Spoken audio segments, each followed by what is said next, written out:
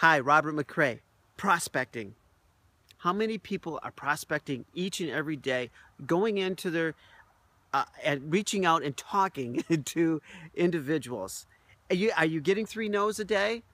If you are, absolutely wonderful. That means you're really connecting to people. That means that you are out there making a difference. Thank you.